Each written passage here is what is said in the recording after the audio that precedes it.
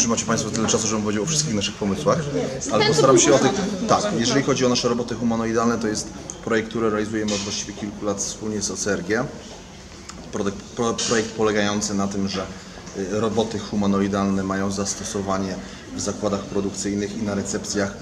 Mm, Takiego robota można zobaczyć na przykład u nas na recepcji na ulicy Krakowskiej. Mm, Było to stworzenie platformy hybrydowej, dzięki której możemy komunikować się językiem naturalnym, czyli werbalizować swoje potrzeby do robota i robot nam odpowiada.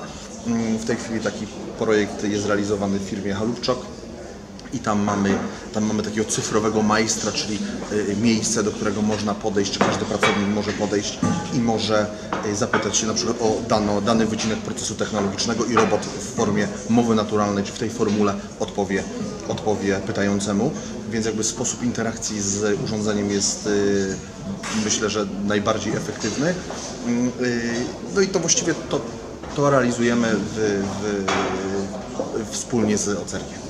Jeżeli chodzi o nagrody biznesowe, które Wigili otrzymuje, mamy tych nagród bardzo dużo. W przeciągu ostatnich lat to były nagrody na poziomie ogólnokrajowym, mm, ale dla nas nagrody lokalne, czyli nagrody, które otrzymujemy w województwie opolskim, a w szczególności w Opolu, są bardzo istotne z tego względu, że jesteśmy i zawsze to podkreślamy opolską firmą. Nasi pracownicy są z Opola czy z okolic. My sami pochodzimy tutaj z regionu, więc jakby y, ta lokalność ma dla nas w kontekście y, naszych pracowników i ludzi, którzy przyczyniają się do naszego sukcesu ogromne znaczenie.